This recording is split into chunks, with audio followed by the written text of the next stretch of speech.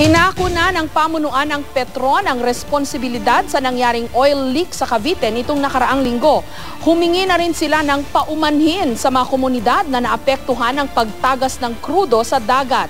Nitong biyernes, tumagas ang diesel mula sa pipeline ng Petron sa karagatan sa bahagi ng Cavite.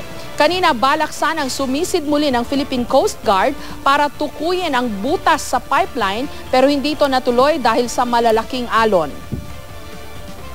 Nag-start kami ng 2 o'clock, pero dahil sa malakas yung alon, kaya para i-follow up sana namin tong pipeline, eh, wala ma'am, malakas ang alon, muntik.